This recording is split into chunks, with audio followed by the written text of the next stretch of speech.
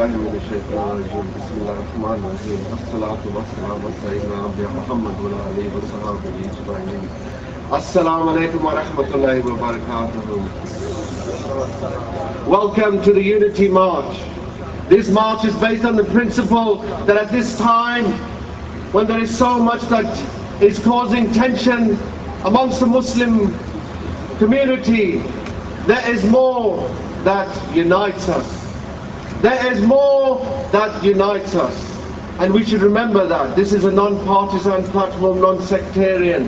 And we have come to raise awareness amongst our community here of the difficulties that we are facing at the moment. So we have a long um, list of speakers, prominent speakers, so inshallah ta'ala, with, without much further ado, we have to remember that uh, we as Muslims have to uh, comply with Islamic adab and guidelines and therefore we will have to ensure inshallah ta'ala that we uh, conduct ourselves in a way where we can leave today and be proud of everything that we have done and we have